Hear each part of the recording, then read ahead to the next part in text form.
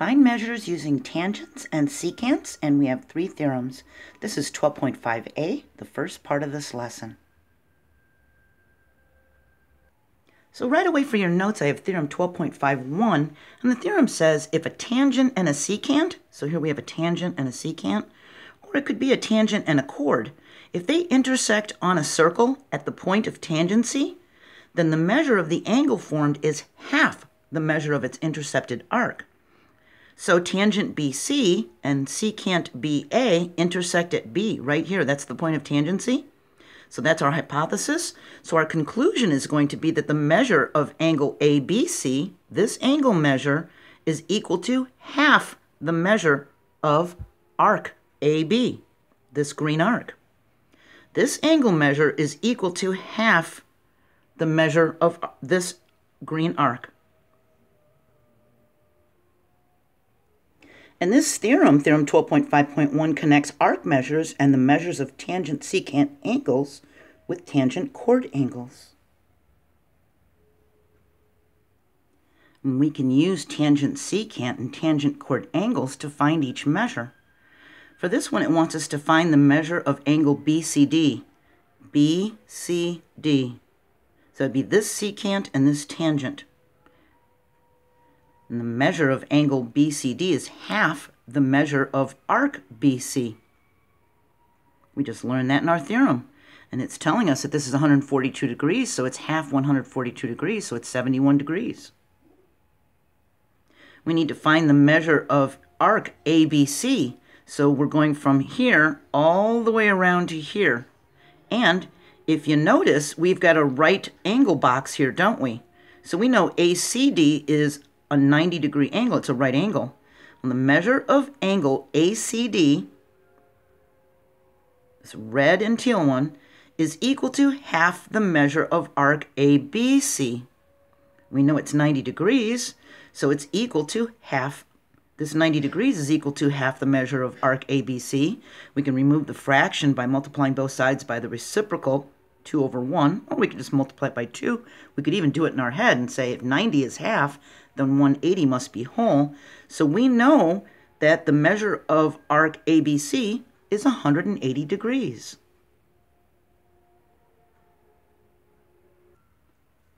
Now that brings us to our second theorem, 12.5.2. And the theorem says if two secants or two chords intersect in the interior of a circle, then the measure of each angle formed is half the sum of the measures of its intercepted arcs. So here we have chord AD and chord BC. They intersect at E.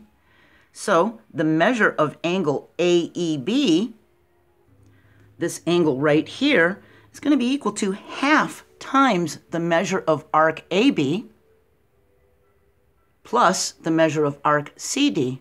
So we would find their sum, multiply it by half, and that would be that angle measure. They intersect in the interior, see, interior of the circle, then it's half the sum. So if they intersect in the interior, we add. Here we have a two-column proof for theorem 12.5.2. It's given that chord AD, right here, and chord BC intersect at E.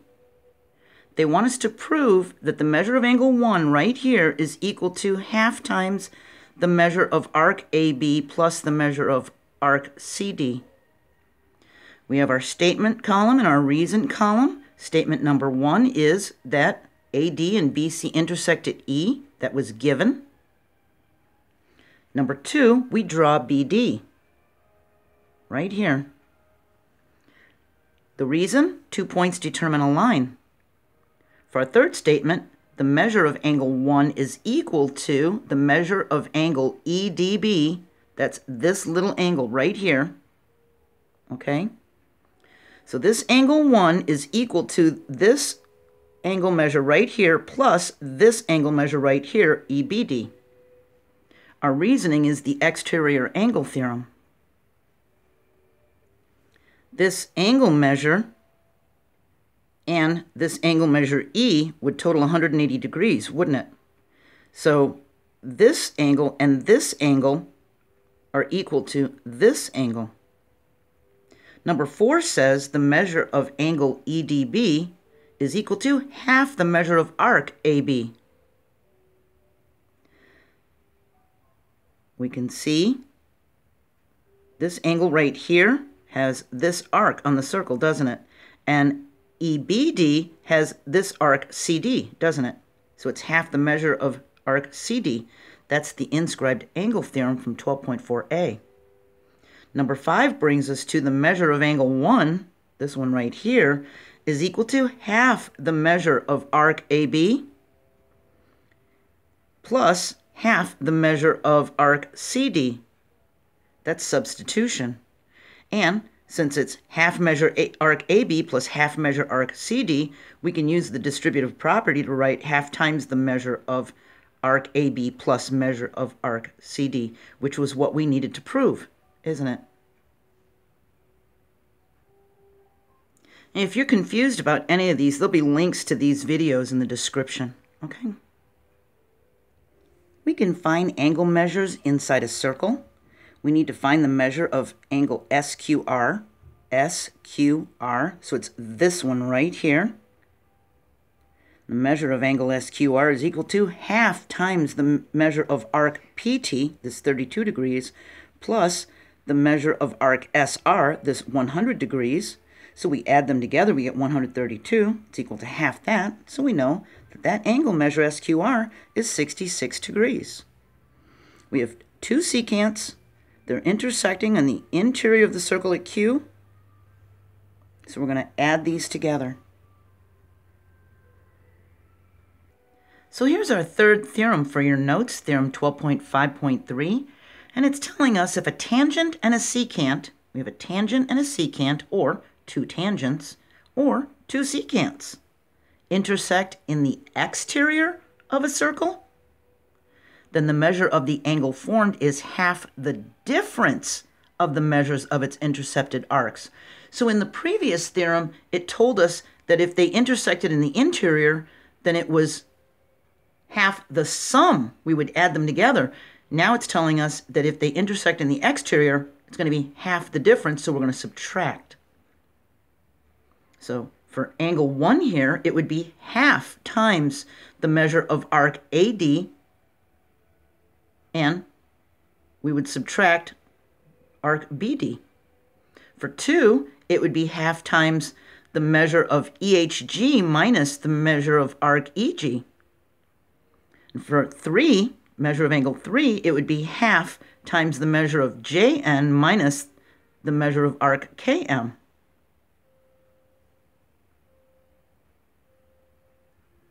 We can find measures using tangents and secants. It wants us to find the value of x. It's showing us its x degrees.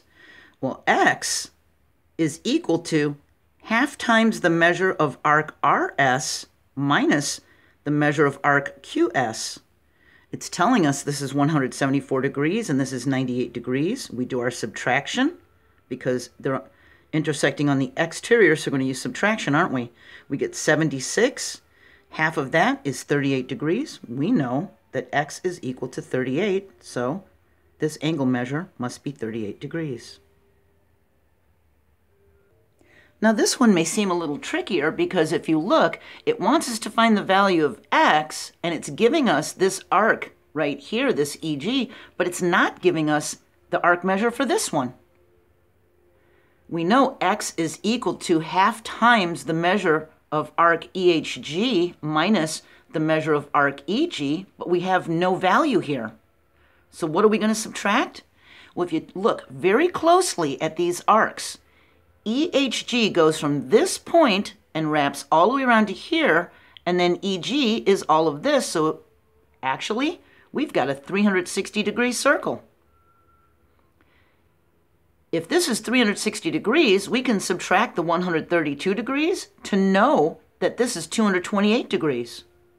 If this is 228 degrees, we now have the numbers to subtract. We do 228 minus that 132, we get 96. It's equal to half of that, so we know x is equal to 48, and we know that that angle is 48 degrees. So be on the lookout on your homework or on tests. If it's asking you to do this and it's not giving the other arc measure? Is it making an entire circle? Is it 360 degrees? Can you subtract that to find out what that is and then do your subtraction? So for real quick recap, Theorem 12.5.2 told us if they're intersecting in the interior, then we're going to add. And if they're intersecting in the exterior, we're going to subtract to find those angle measures. The second part of this lesson is about angle relationships in circles. That's 12.5b. Then we're going to move on to 12.6, and we're going to talk about segment relationships, chord-chord, and products. So now you should know when to add or subtract. It's when they intersect in the interior or exterior of the circle. I hope you're doing well. I'll see you next time. Bye.